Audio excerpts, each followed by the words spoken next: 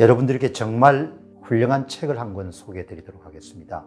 김동주 박사님, 역사학과 신학에 대한 상당한 조예를 가지신 분이 26년 동안의 연구를 총집결한 책이 바로 기독교로 보는 세계 역사란 책입니다. 우리나라에서도 역사 뒤집기를 위해서 좌우 진영이 굉장히 격렬하게 싸우지 않습니까? 그만큼 이제 역사를 어떻게 해석하느냐, 바라보느냐가 굉장히 중요하죠.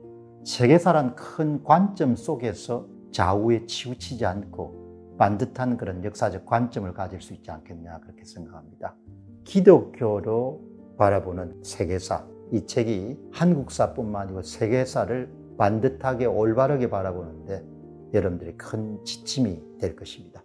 자 오늘 여러분들 마지막 방송 진행하도록 하겠습니다. 그냥 훅 하고 갑니다. 오늘 여러분들 보니까 조선일보의 중국 문제를 오랫동안 지켜본 최유식 기자가 이런 게 나왔는데요. 100년 걸려서 이룬 세계 3대 금융센터 홍콩의 씁쓸한 퇴장. 이거 보고 뭐 어, 홍콩이 뭐 안 됐구나 뭐 이렇게 생각하는 분들이 있겠는데 한 차원 더 가면 은 대한민국 국민들에게 주는 이런 굉장히 중요한 의미심장한 메시지를 담고 있는 홍콩은 아무것도 갖지 않은 그냥 척박한 어촌이었지 않습니까 그게 여러분들 영국의 식민지 하에서 영국의 총독들 가운데서 자유무역에 대한 아주 굳건한 이런 신뢰를 가졌던 사람들이 결국은 교역 중심으로 법의 지배 법치와 그다음에 지금은 달라졌겠습니다만 오랫동안 홍콩은 최저임금제가 거의 없었습니다. 그러니까 소위 자유주의 경제학의 모든 것을 다 실험했던 데가 바로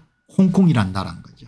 그게 영국이 제공하는 법치와 자유무역에 대한 굳건한 신념을 가졌던 영국에서 파견한 총독들이 이름들 오늘 홍콩에 번영을 가져온 겁니다. 아 여러분 홍콩 가보신 분들 아시지 않습니까 그 좁은 땅에 다닥다닥 붙어 살지만 뭐 별다른 게 아무것도 없지 않습니까 그러나 대만과 한국과 여러분들 함께 네 마리 용으로 여러분들 등극할 정도로 굉장히 화려하게 이런 꽃을 피웠던 겁니다.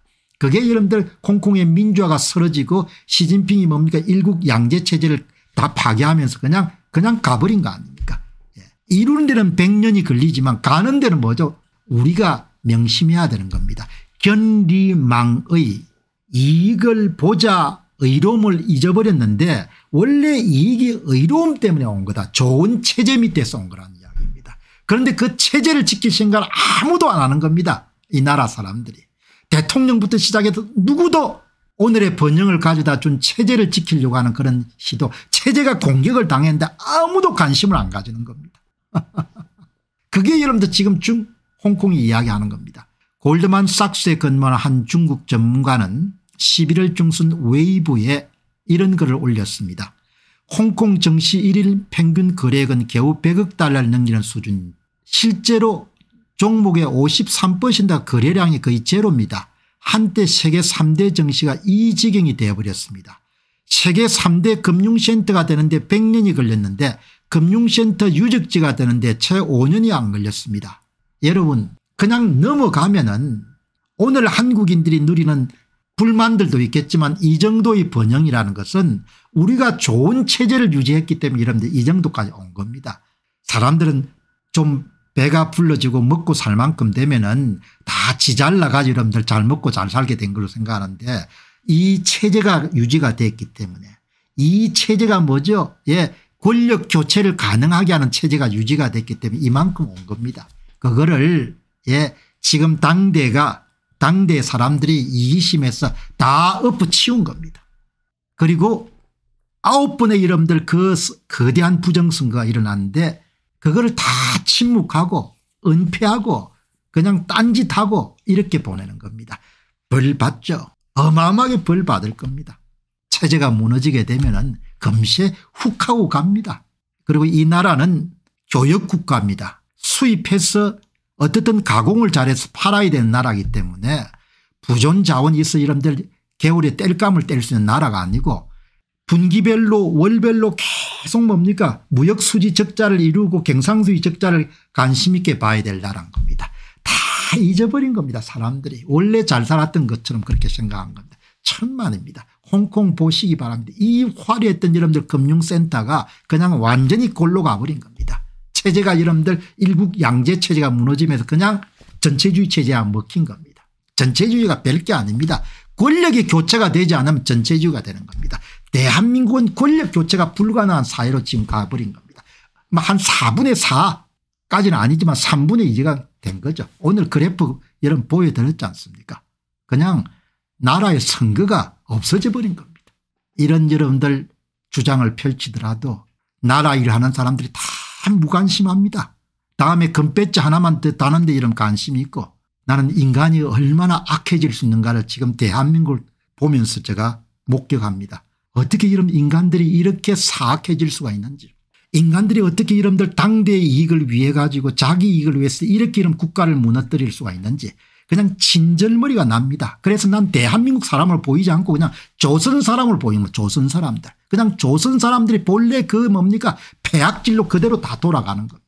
홍콩 보시기 바랍니다. 100년 걸린 거가 몇 년 걸렸다는 겁니다. 100년 걸린 거가 5년이 그냥 넘어가는 겁니다. 5년 만에. 그래서 여러분들 홍콩에 여러분들 기대를 걸고 홍콩 지수에 여러분들 펀드 샀던 사람들이 지금 손실이 어마어마하잖아요. 회복이 안 될 겁니다. 홍콩 H지수 급락에 ELS 손실 눈덩이 3년 만에 반토막 홍콩 H지수 손실 눈덩이 공포 정실한 것이 누구도 정확하게 알 수가 없지만 이미 다 떠나는 겁니다. 자유를 잃어버린 나라이기 때문에 여러분 내가 무슨 영화를 보겠다고 이런 이야기를 하겠습니까 내가 여러분한테 겁을 주기 위해서 하겠습니까 그렇지 않습니다. 예, 나는 너무나 여러분들 참담하게 보는 겁니다. 이 나라가 여러분들 이렇게 짧은 시간에 이런 변질돼 가는 걸 보면서 선거를 통해서 권력 교체가 되지 않는 나라라는 것은 북조선하고 여러분 거의 비슷해지는 나라로 가는 겁니다. 국가가 여러분들 어제도 말씀드렸죠. 아마 기네스북감에 오르고 남을 겁니다. 국가의 공적 기관이 아홉 번이나 부정선거를 감행하고 그걸 이런 수사 한 번 하지 않고 최 대통령이 등장해서 입 다무는 나라는 그는 인류 역사에 없는 겁니다.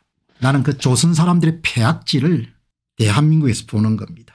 사회주의와 공산주의가 다 몰락을 해가지고 어마어마하게 여러분들 많은 사람들이 자유로이 기한이 이루어졌는데 이 시조선의 이름 똑같은 김씨 왕조가 저렇게 폐악질을 치고 같은 동포들을 노예 그 이상으로 이름들 고생을 시키고 있는 겁니다.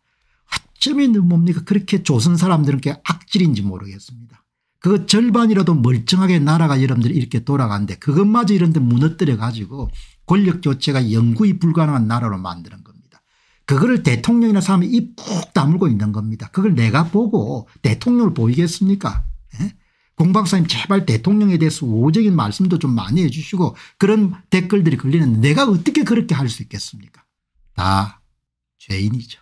그러나 너무나 여러분들 안타까운 것은 우리가 우리만 살다가는 것이 아니고 자식 세대들이 있는데 어쩌면 이렇게 여러분들 나라를 망가뜨리는데 모두가 여러분들 합하여 이렇게 악을 이렇게 행성하는지 기가 찰 때가 있는 거죠. 그렇다 해가 낙담하거나 그렇게 할 필요는 없겠지만 현재 상황은 상당히 암울합니다. 뭐 저는 오래 보지 않습니다. 2024년도 4월 총선이 그냥 거의 분기점입니다. 거기서 넘어가게 되면 그 다음부터는 권력교체란 건 불가능할 겁니다. 자 여러분 오늘 어, 방송 조금 무거운 주제들이 많았는데 예, 오늘 이제 마무리하기 전에 여러분들 광고 하나 드리고 그 다음 방송 마무리하도록 그렇게 하겠습니다.